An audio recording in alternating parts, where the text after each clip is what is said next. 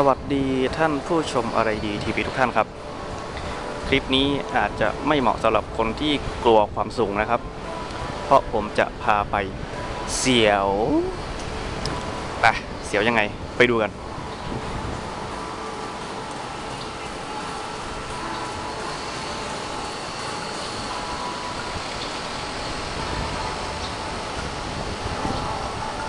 เนี่ยเนี่ยเดินไปตรงมุมเนี่ยเนี่ยที่มันยืดออกมาเนี่ย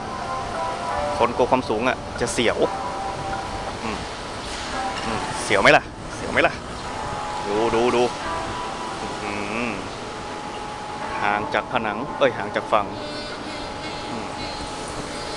ฝั่งโน้น เสียวไหมล่ะมีคนเดินสั่น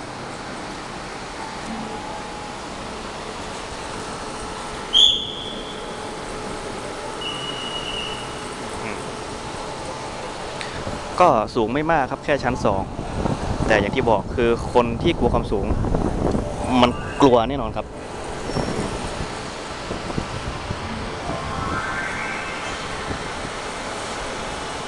สั่นสั่นสั่นขยับขยับขยับสั่นสั่น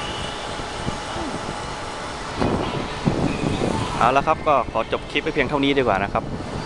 ก็สำหรับคนที่กลัวความสูงก็คงจะก็คงจะกลัวครับ แต่คนที่ไม่กลัวก็คงจะเฉยๆนะครับ ก็ไปเจอกันใหม่คลิปหน้าครับสวัสดีครับ บ๊ายบายครับ